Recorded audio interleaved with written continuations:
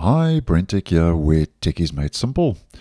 So, Microsoft has reminded users yet again that support for Windows 10 is coming to an end. And I think the closer we get to that October 14 deadline, we are going to be seeing a lot more of this. Now, there are now less than two months to go until Microsoft stops issuing updates to Windows 10. For anyone who has not paid or enrolled in the extended support, the ESU program, as we have been talking about on the channel. And last week on Friday, that was the 14th of August, Microsoft issued the reminder to start a 60 day countdown to the end of mainstream support. So here we can see 60 day reminder Windows 10 version 22H2 will reach end of support or servicing on October 14, 2025. Now, in this uh, reminder, Microsoft says that the October updates will be the last one that most people will receive.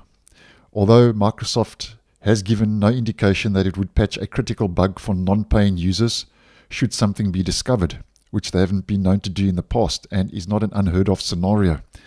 So I think, though, personally, that Microsoft, although they are ending mainstream support, if there is a critical bug or issue that becomes known regarding Windows 10 or is plaguing Windows 10 after end of support, I'm sure Microsoft will roll out critical security fixes and patches and bug fixes, in my personal opinion.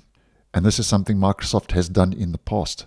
But nonetheless, although they are issuing the 60 day reminder, and I cannot believe how fast time is going, I can't believe that we are literally on the doorstep for mainstream support ending for Windows 10. Although this is the case, at least Microsoft here is talking about the ESU program that you can enroll in.